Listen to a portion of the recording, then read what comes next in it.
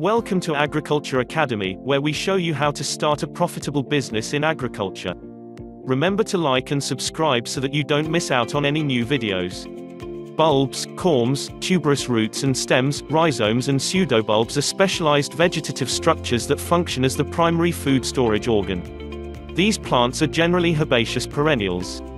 This means that the shoots die at the end of the growing season, but the plant survives in the ground as a dormant, fleshy organ that can produce new shoots the next season. The main purpose of these specialized structures, or bulbs, is for storage and reproduction. Most of the bulb is made up of scales. The outer scales are fleshy and contain the food reserves.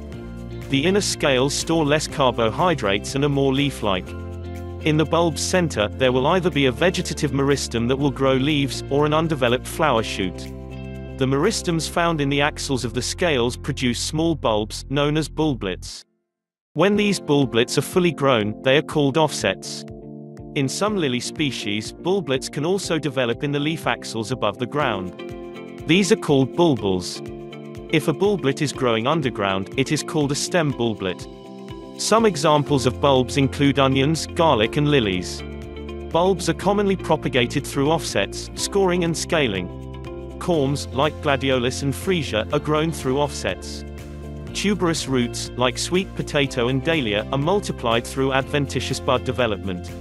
Potatoes and tuberous begonias are examples of tuberous stems. These plants are propagated using axillary buds. Rhizomes, like iris and bamboo, are grown using apical and axillary buds. Lastly, pseudobulbs, like epiphytic orchids, are multiplied through adventitious and axillary buds. There are so many kinds of bulbs, and each of them will have unique propagation methods. Keep an eye out for more videos in this series of bulb propagation for more information on these methods. Thanks for watching and see you next time.